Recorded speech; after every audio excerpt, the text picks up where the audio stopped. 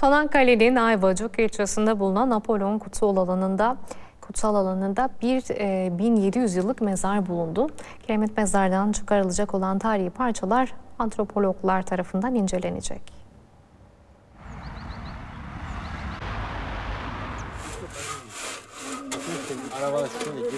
Şu anda bulunduğumuz alanda e, arkadaşlarımıza görmüş olduğunuz üzere bir e, duvar dipleri, duvar diplerinde mezar şu an denk geldiniz. Bir kiremit mezar denk gelmiş bulunmaktasınız. Arkeologları heyecanlandıran mezar Çanakkale'nin Ayvacık ilçesindeki Apollon Siminteus kutsal alanında bulundu. İki ayrı sektörde çalışıyoruz bu sene. Birincisi nekropolis alanında yani ölülerin gömüldüğü alan. Bir diğeri de Romalıların yaşam alanları. Antik bölgede 1980 yılından bu yana kazı çalışması sürüyor. Bu yıl 20 kişilik bir ekip bölgeyi kazıyor.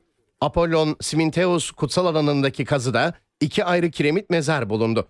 Roma ya da Bizans dönemine ait olduğu düşünülen mezar 1700 yıllık. Mezarlarda bulunduğumuz bu mezarlarda bir ölü hediyesine henüz rastlayamadık. Üzerinde bir kiremit mezar var ancak yığılmış olan topraktan baskısından dolayı da kiremit tam olarak değil yani parça parça şeklinde çıkarmaya çalışıyoruz. Bölgedeki kazılar binlerce yıllık yaşama ışık tutacak.